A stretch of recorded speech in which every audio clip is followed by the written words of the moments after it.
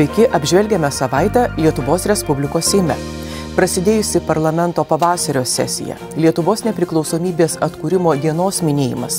Ryškiausi akcentai yra ir kitų įvykių, apie visą tai netrukus. Seimo savaitėje matysite, prasidėjusioje pavasario sesijoje, kvietimas susitelkti dėl Ukrainos, tarp numatomų svarstyti pusšešto šimto teisės aktų projektų ir turėsiant įstiprinti Lietuvos žmonių saugumą ir gerovę. Pavasario sesijos darbų programą Seimo valdyba su šalies vadovu aptarė prezidentūroje. 32 nepriklausomybę atkūrusios Lietuvos pavasaris Kovo 11 šventė kitokia nei ankstesnės. Šiandien ta šventė su ašarom akise. Mūsų ir Ukrainos laisvė. Seimas pratėsi nepaprastąją padėtį šalyje, be iki šiol galiojusių nustatė ir papildomų ribojimų. Mes matome, kad situacija yra labai jautri. Parodoje Lietuva brangi visų Lietuvos regionų tautiniai kostiumai, austos juostos, taip pat Vilniaus krašto verbos.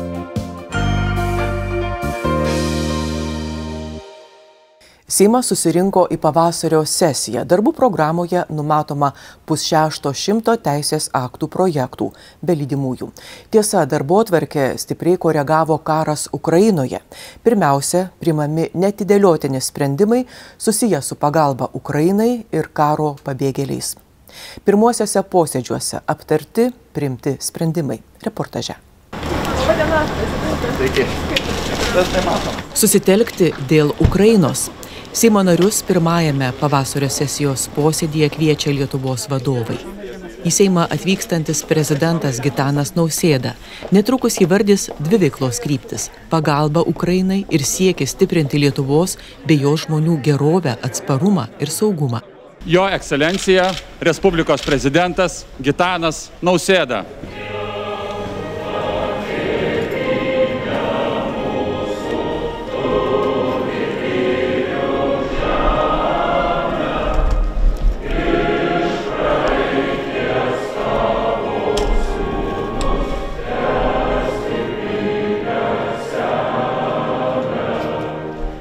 Seimo pirmininkė Viktorija Čmilytė Nilsen įsitikinusi, kad Ukraina mums priminė, kad laisvė nėra duotybė, šventinė dovanėlė, kad už laisvę reikia nuolat kovoti, ją tvirtinti. Ukraina esą atkreipė dėmesį į tai, kaip svarbu turėti patikimų partnerių ir ištikimų draugų ir kad tuo rūpintis reikia ne tuomet, kai užklumpa bėda, o gerokai anksčiau. Ukraina rodo, norint, kad gerbtų, reikia mokėti apsiginti, Ukraina atvėrė akis su brutalia jėga, neįmanoma tartis, jai te galima pasipriešinti jėga. Ukrainos poetas ir diplomatas Dimitro Pavličko savo eilėraštį Lietuvai parašytą 1990 kovo 11 iškart po Lietuvos nepriklausomybės atkūrimo užbaigė taip. Atlaušk man Lietuvą bent trupinį tvirtybės, kad aš numirčiau būdamas laisvu žmogum. Dabar būtent šią akimirką ukrainiečiai, demonstruodami tvirtybės stebuklus, kaunasi dėl savo teisės vadintis laisvais žmonėmis. Būtent šią akimirką jie žūsta, gindami savo, taip pat ir mūsų, bei visos Europos laisvę.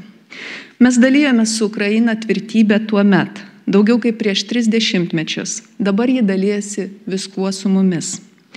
Ukraina mus suvienijo, kalbame vienu balsu, darome vieną darbą. Esame tauta verta savo himnos žodžių. Vienybė te žydė. Darbo atvarkė šios pavasario sesijos prasideda visgi nuo visų klausimų, kurie yra susijęs su karu Ukrainoje. Tam bus skiriamas didžiausias dėmesys tiek šiandien, tiek artimiausiomis savaitėmis. Dėl to turime iš esmės ir sutarimą ir su opozicija, ir, ir su pozicija tai yra aptarta. Vėliau darbo atvarkėje žinoma bus ir labai svarbus kiti klausimai, tai yra ir konstitucijos pakeitimai, ir vietos savivaldos įstatymas, ir daugelis kitų, tarp jų žinoma, jų tarpe bus ir žmogaus teisų klausimai ir juos irgi tikiuosi svarstysime ir kai kurias skolas Lietuvos piliečiams pagaliau atiduosime. Bet tai yra, na, tarp 500, beveik 50 įstatymų projektų tikrai turime labai labai daug svarbių.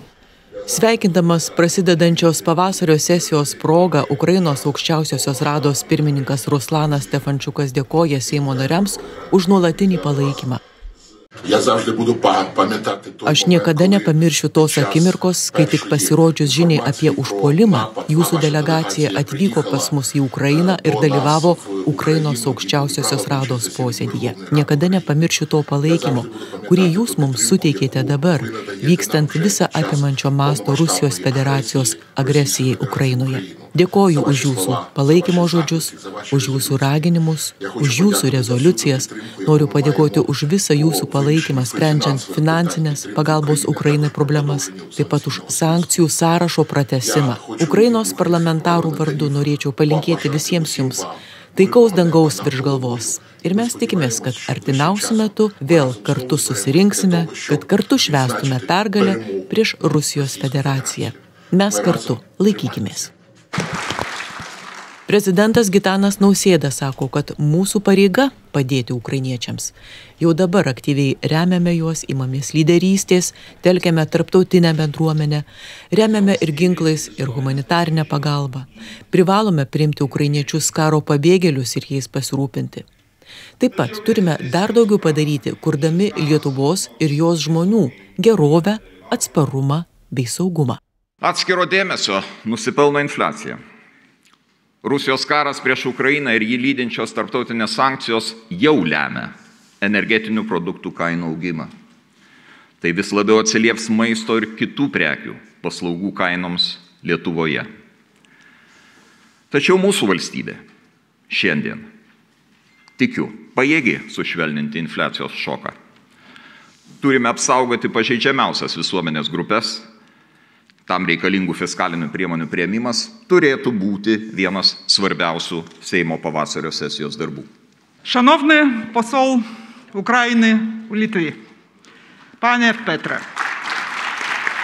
Premjerė Ingrida Šimonytė įsirinkusius, tarp kurių ir Ukrainos ambasadorius Lietuvoje Petro Bešta, karo pabėgėliai iš Ukrainos, kreipdamasi ukrainietiškai akcentuoja kovojančiai su Rusijos agresija Ukrainai Lietuva turi būti Ukrainos balsu Europos sostinėse. Taip pat ragina parlamentarus pamiršti politinę priklausomybę, nes reikia susivienyti dėl Ukrainos ir Lietuvos saugumo. Pamirškime, ar sėdime šios salės kairėje ar dešinėje. Ši Seimo sesija bus kitokia nei vylėmės. Kartu turėsime priimti daug būtinų ir skubių sprendimų, kad padėtumėm Ukrainai ir sustiprintumėm Lietuvos saugumą. Ukraina šiandien kovoja ne tik už savo šalies ateitį, ne tik už savo laisvę, ji kovoja už mus visus, už visą demokratinį pasaulį. Ukrainos parlamento nariai lieka savo šalyje. Parlamente priima būtinus įstatymus ir su ginklais rankose stoja petys petin su savo piliečiais. Ukrainos premjeras Denisas Šmaihalis lieka savo šalyje ir niekur nesitrauks. Ukrainos prezidentas Volodimiras Zelenskis lieka savo šalyje ir kovos su ją ir už ją iki galo. Mes esame saugus. Į mūsų gimdyvės ir kūdikius neskrieja Putino raketos. Mūsų dangų saugo NATO naikintuvai. Todėl mes, kiekvienas iš mūsų, privalome ne maudytis Ukrainos didvyrių šlovės spinduliuose, ne ploti jiems iš savo gražių ir šviesių kabinetų, o keltis ir eiti, važiuoti, skristi už juos. Kasdien iki pergalės mes turime būti jų atrama ir balsas viso civilizuoto pasaulio sostinėse. Tarp svarbiausių sesijos darbų - krašto gynybos ir nacionalinio saugumo klausimai, valstybės tarnybos reforma, žaliosios darbo tvarkės įtvirtinimas, socialinės ir sveikatos apsaugos ryčių pokyčiai. Planuojama peržiūrėti valstybinio socialinio draudimo įmokų ir gyventojų pajamų mokesčio dydžius, užtikrinti spartesnį bedarbių sugražinimą į darbo rinką ir skatinti asmenų su negale dalyvavimą atviroje darbo rinkoje, lankstesnės darbo sąlygas auginantiems vaikus. Numa numatomi įstatymai susiję su pridėtinės vertės mokesčio už šilumos energiją ir karštą vandenį laikinu dengimu iš valstybės biudžeto.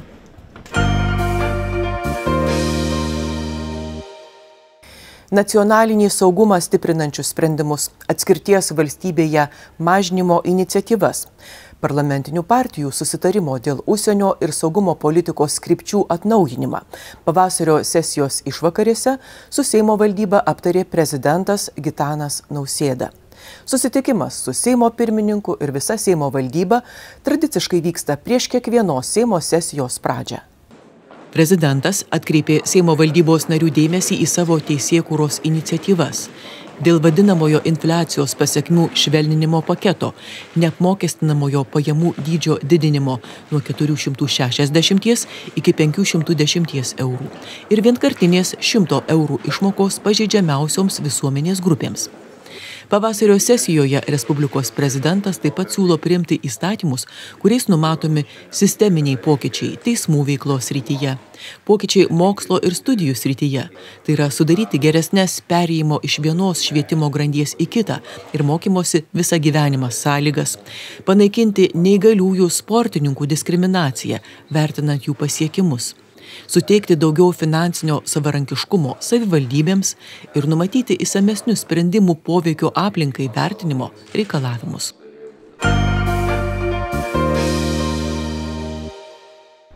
Seimas vienbalsiai apsisprendė, Ukrainai be išlygų turi būti taikoma pagreitinta stojimo į ES procedūra.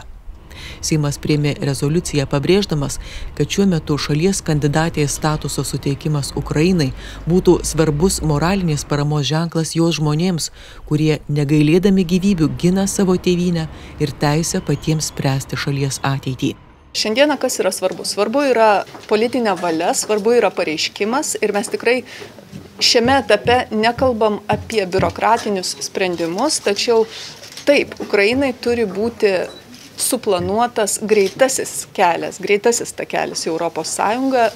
Tokia yra idėja, nes natūralu, kad Ukrainos situacija yra išskirtinė. Čia turbūt nėra jokios nuostabos, kadangi dar po Krymo aneksijos ir rytų Ukrainos okupacijos, na turbūt mes buvome tarptų valstybių, kurios nuosekliai pasisakė už tai, kad e, Ukrainos narystės ES, ES byla turėtų būti na, aiškesnė negu iki šiol. Todėl, kad anks, iki šiol tas narystės perspektyva buvo tokia, kaip pasakysiu, miglota, kad, žodžiu, darykite reformas, nes tai yra labai gerai, o paskui mes ten kažkaip matysim. Žinoma, ES yra galbūt šiek tiek pavargusi nuo plėtros, Daug yra kitų niuansų, sunku rasti sutarimą. Kažkada, kai buvo ratifikuojama sutartis dėl asociacijos, tai buvo problemų atskirose valstybėse narėse kur reikėjo referendumų, buvo sunku paaiškinti žmonėm, kodėl čia reikia tos, to susitarimo, kuo čia svarbu, kuo iš vis svarbi Ukraina Europai. Tai man atrodo, dabar jau niekam abejonių dėl to nekyla.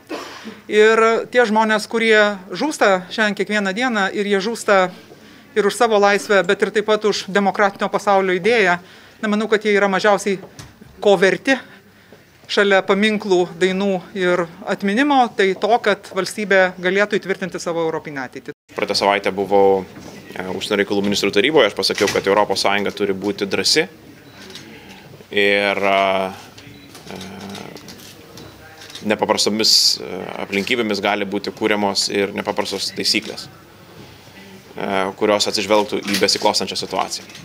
Tai aš visiškai palaikau poziciją, kad būtų suteiktas kandidatės statusas. Dokumente akcentuojama, kad daugiau negu dešimtmetį Ukraina siekia narystės Sąjungoje, o pastaruosius penkerius metus Ukraina ir Sąjunga sieja asociacijos sutartis. Taigi šios valstybės paraiška dėl narystės Sąjungoje yra atkakliai reiškiamo jos europinės integracijos siekio rezultatas. Ta pačia diena Prancūzijoje vykusi Europos vadovų taryba priemė pareiškimą, kuriame įsipareigojo efektyviai remti Ukrainos europinės integracijos kelią, o Europos komisija įpareigojo pateikti Ukrainos prašymo tapti ES nare vertinimą pagal šiuo metu galiojančias sąjungos sutartis.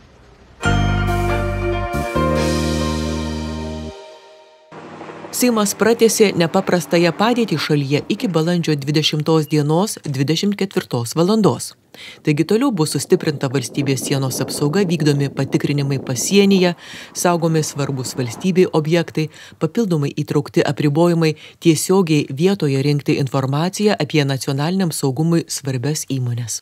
Pastaruoju metu matome tikrai didžiulį suaktyvėjimą, būtent e, dėmesį šitiems objektams ir taip pat yra siūloma, kad, e, kad būtų taikoma atsakomybė, tai yra draudžiama tuos objektus a, kažkaip fiksuoti ir būtų reaguojama ir įmamasi atsakomybės. Taip pat numatoma, kad bus griežčiau kontroliuojamas neapykantos ir karo kurstimas. Yra du punktai. Vienas punktas tai yra susirinkimų ribojimas, bet susirinkimų, kurie yra būtent susijęs su na, neapykantos karo kurstimu ir panašiais dalykais. Ir, ir aišku, kas susiję su viešąja erdvė, taip pat yra siūloma, kad būtų na, imamasi atitinkamų veiksmų ir ribojama viešoje erdvėje tam tikra informacija, kuri yra, noriu pažymėti, susijusi su karo ir neapykantos kurstimu būtent Ukrainos kontekste. Opozicinės demokratų frakcijos vardan Lietuvos narys Saulis Kvernelis pabrėžia, pratesti nepaprastąją padėtį reikia, tačiau nepaprastosios padėties projektas papildytas esą pertekliniais draudimais. Draudimas nesuprantamas, fotografuoti, filmuoti, rinkti vietoje, vietoje kitaip informaciją apie energetinius objektus, kurie yra labai svarbus, kurių ir taip negalima fotografuoti, filmuoti, yra aptverti, yra iškabos pakabintos, kad draudžiama objektą fotografuoti, filmuoti, už tai yra atsakomybė. Tarnybos gaudo tokius asmenys, kurie renka neteisėtą informaciją, pradeda iki teisminius tyrimus, bet šiandien norima, kad tai būtų galima daryti, prezimuojant, jog visi šalies piliečiai būtent yra tokie ir keliantys grėsmę na, mūsų nacionaliniam saugumui. Plus kitas dalykas tai yra cenzūra įvedama, žiniasklaidos cenzūra ir ką premjeriai bandė paaiškinti, šiandien policija, kuri jau vasario 16 dieną pasižymėjo, pasižymėjo politinės cenzūros metodais, kada cenzūravo politinius plakatus, galės uždrausti portalą, galės uždrausti leidinį platinti. Bus galima kreiptis į teismą, bet pirmos instancijos teismo sprendimas nesustabdys uh, tų nurodymų, tai iš esmės iki antros instancijos policija galės cenzuruoti ir drausti žiniasklaidos priemonės, nors ir šiandien be šito teisinio reguliavimo policija tikrai sėkmingai užblokuoja arba žurnalistų etikos inspektorius tą padaro. Palaikantieji projektą tikina, kad demokratiją reikia ginti ir nuo putiniško karo propagandos ir nuo dezinformacijos. Mes matome, kad e, situacija yra labai jautri, jeigu kalbame apie tam tikrą dezinformacijos skleidimą arba bandymus kurstyti, jie yra ypatingai e, jautrus, nes jie gali būti panaudoti Lietuvai priešiškų jėgų prieš mus visus. Todėl susitelkimas šiuo atveju ir rimtis yra labai svarbi. Nutarimu draudžiamas Rusijos ir Baltarusijos radio programų, televizijos programų retransliavimas, platinimas internete, jeigu tam nėra gautas Lietuvos radio ir televizijos komisijos leidimas. Taip pat įvedamas vizų režimo sugriežtinimas Rusijos ir Baltarusijos piliečiams, o pasienio ruožė transporto priemonių ir asmenų bei jų bagažo tikrinimas, siekiant rasti ir paimti neteisėtai laikomus šaunamosios ginklus ar pavojingas medžiagas.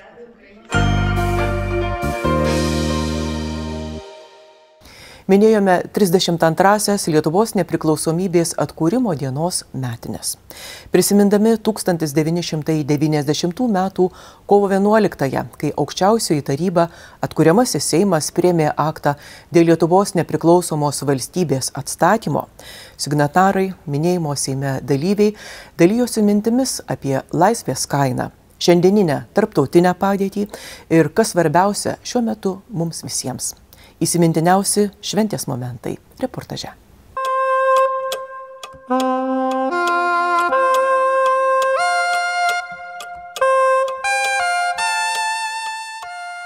Šiųmetė nepriklausomybės atkūrimo diena visiškai kitokia nei ankstesnės ir tai verčia jautriau įvertinti mūsų šalies valstybingumo kelią, patį valstybingumą. Tokias ir panašias mintis įsako renginių Seime dalyviai. Agresyvaus imperinio recidyvo akivaizdoje, kaip sako Seimo pirmininkė. Gerai matyti, kaip toli nuėjome, kiek daug pasiekėme per istorinių požiūrių neilgą laikotarpį.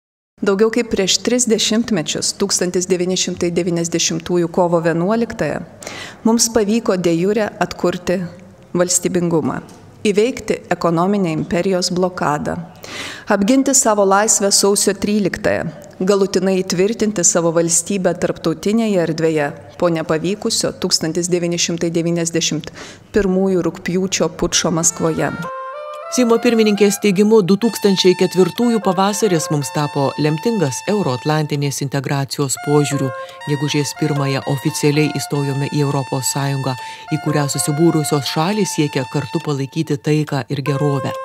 Kovo 29-ąją, šią svarbę datą visai netrukus minėsime, Lietuva tapo visą teisę NATO nare, visų laikų stipriausios gynybinės organizacijos, kurią sudaro valstybės, susivienijusios tam, kad diplomatinėmis, o prireikus ir karinėmis priemonėmis įsaugotų tarptautinę taiką ir saugumą. Dabar grėsmė yra iškilusi civilizacijai. Ar išliks žmoniškumo civilizacija, ar smurto ir pažeminimo civilizacija. Net ir žūti galima arba garbingai, arba niekingai. Ana kovo 11 mes pasirinkom. Ir daug žmonių ėjo su mumis. Labai norėčiau matyti, kiek man dar liko laiko savo šalį ir savo žmonės nepažemintus ir nenusižeminusius prieš niekšybę. Nebijoti.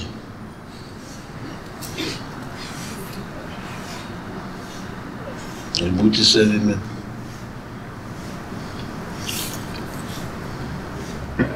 Ši vieta, šis paminklas mums gali daug ką priminti ir pasakyti, jeigu mes to norim.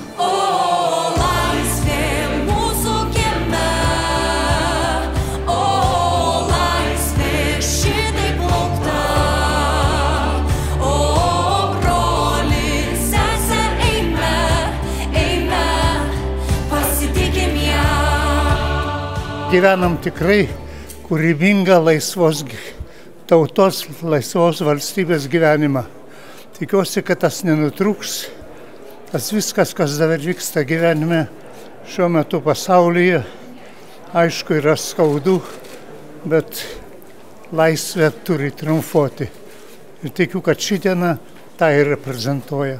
Visų akis mato, kokia šiandien yra kovo 11 mato, kas vyksta pasaulyje, kad vyksta karas ir tas karas, kiek jisai apims, kokias šalis užkabins, niekas to nežino.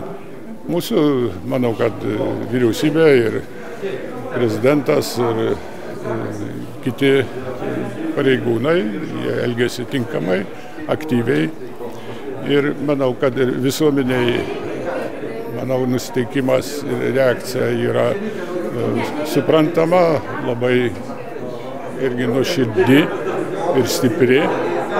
Ir manau, kad taip turim tęsti, bet turim šitą sujudinti platesnius visuomenės sluoksnius Europoje. Todėl, kad Europa kol kas žvelgia į tą padėtį užburta politinių formulių.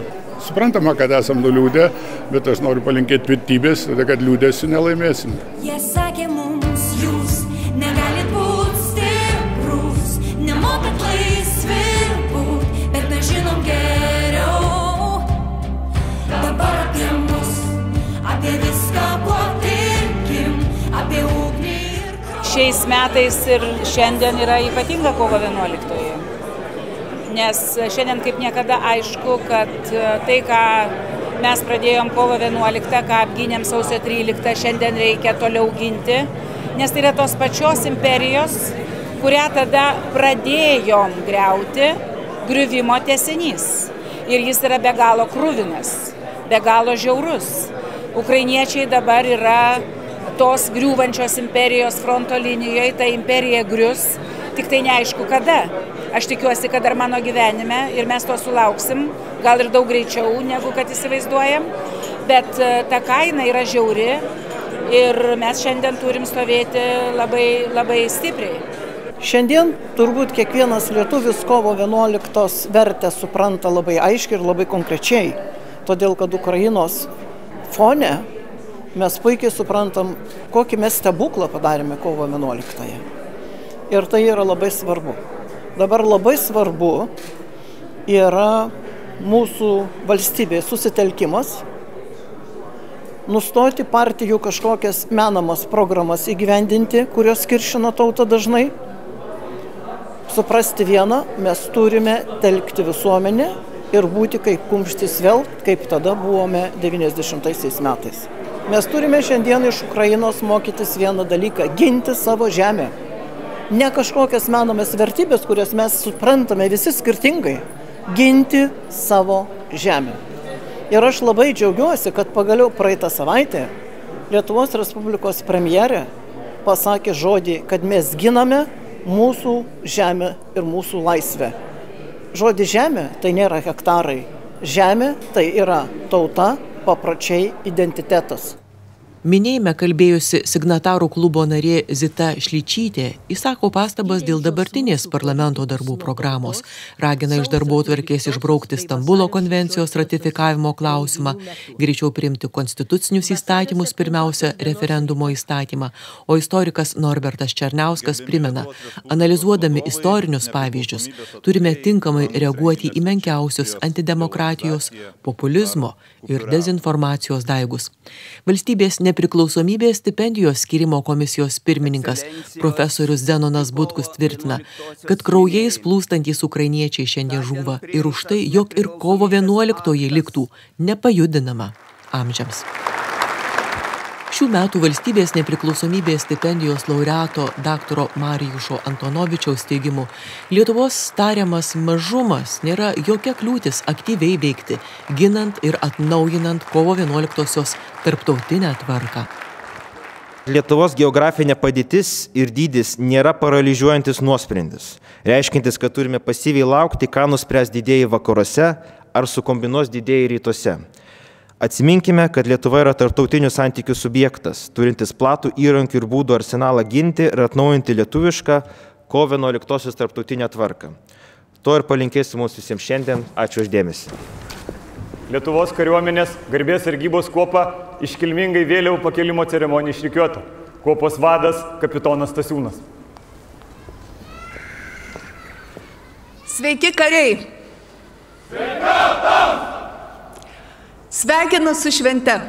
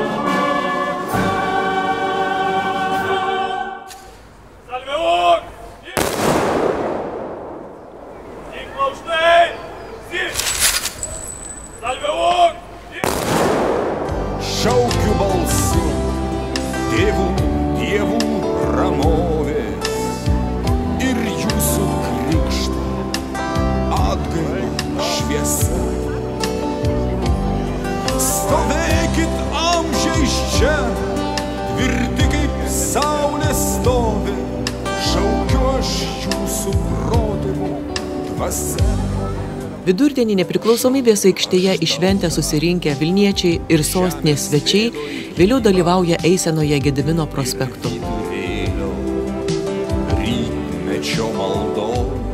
Ir šiandieninių Ukrainos istorijos faktų matome, kad kiekvienai šaliai turėtų būti svarbi nepriklausomybė ir turėtume ją vertinti ir mylėti. Nes tikrai labai nesmagu, kai žūsta vaikai, žūsta senoliai, žūsta visi tie, kurie dėl tos valstybės labai labai daug atidavė. O ko jūs palinkėtumėt Lietuvos žmonėms? Vienybės, stiprybės ir, ir solidarumo su kitom Europos valstybėm ne tik Europos, bet tikriausiai ir viso pasaulio valstybėm, nes tai šiandien yra labai svarbu. Šitam niūrių minčių fone, kurios sklinda iš mum mielų kraštų, kuriuos dabar palaikom, vis tiek šventė yra šventė. Mes vis tiek e, nusiteikę šventiškai, kad mes e, pas mus ramu, pas mus taika, nors e, širdyse ir neramu. Tai tiesiog malonu, kad gera diena, kad šventė, kad mes laisvi, kad ačiū Dievui nėra karo. Bet jeigu reikės, mes aišku, nusiteikę labai rimtai. Aš nepaprastai džiaugiuosi, kad mes turime tokią dieną, tokią šventę. Labai bijom. Kuo galėsim, tuo padėsim. Ir šiandien ta šventė su ašarom akise. Naplanko mintis ir linksmos, ir liūdnos mintis. Liūdnos dėl to, kad Ukrainoje vyksta karas, o linksmos dėl to, kad mes esam laisvi.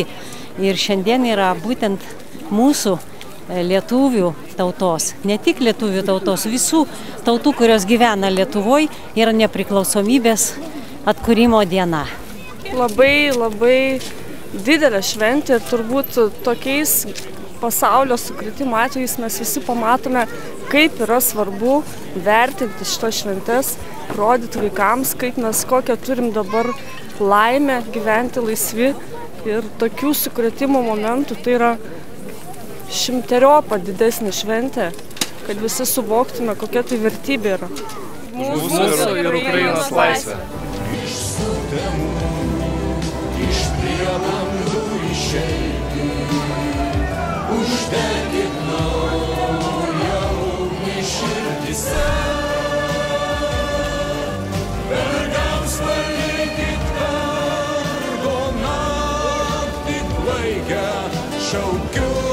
aš jūsų protėvių dvasia.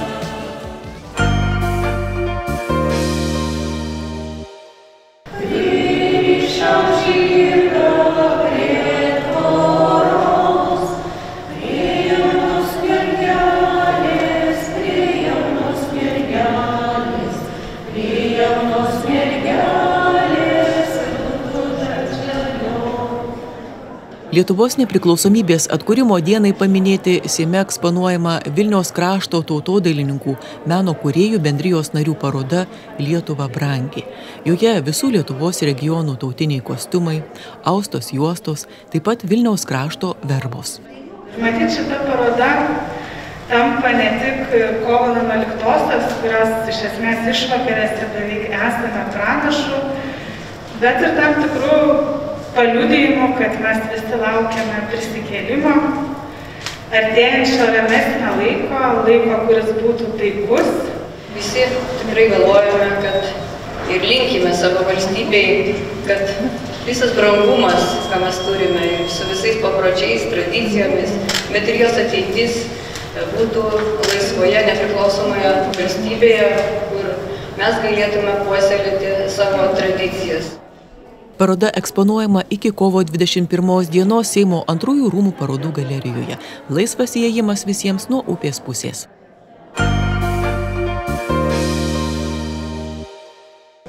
Pagarbą istoriniai atminčiai pakvietė pareikšti Laisvės gynėjų galerijoje atvertos fotografijų konkurso Žydai Žemaitijoje darbų parodos rengėjai. Ekspozicijoje portretai, akimirkos iš renginių skirtų žydų paveldui, holokausto aukų atminimui. Esame čia ir esame su žmonėmis, kurie labai vertina taiką, vertina laisvę, vertina buvimą kartu. Fotografijų konkurso idėja pernai kilo Dianai ir Marijui Lopaičiams nuo 2019 metų Akmenės krašte vykdantiems projektą Šalom Akmenę, skirtą žydų kultūrinio paveldo įsaugojimui. Projekto veiklų metu susipažįstama su žydų tradicijomis, papročiais, architektūra ir muzika. Projekto dalyviai kasmet rengia edukacinį koncertą, prižiūri senasias žydų kapines. Mes turim už savo pečių gilėje Lietuvą. Žemaitė tai yra tokia gilioji Lietuva. Na, tikriausiai Lietuva, labiausiai savo, sa, savotiška Lietuva, turinti savastį atskirą. Čia yra Miša Jakobas, kurio gimtoji kalba yra žemaičio. Ir daugybė žmonių, kuriuos aš mačiau, likusių dar žydų kilmės, aš nekėjo dviem kalbom - žemaičių ir įdiškai. Solidarumas, gyvybės vertinimas, pagarba kitam egzistuoti - tai mus vienyje. Vienyje žydus, lietuvius ir visus kitus. Lithuanians and others.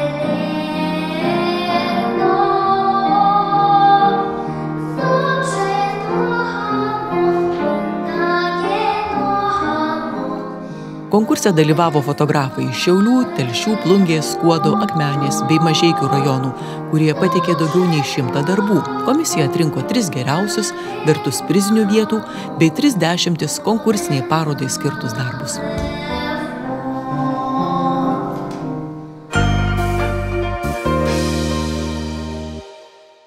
Sakoma, kad nėra nei vieno žuvusiojo dėl laisvės kapo, ant kurio nebūtų sudygusios laisvės sėklos, teikiančios gyvybę naujiems daigams. Vilties ir gražaus dar vieno Lietuvos laisvės pavasario.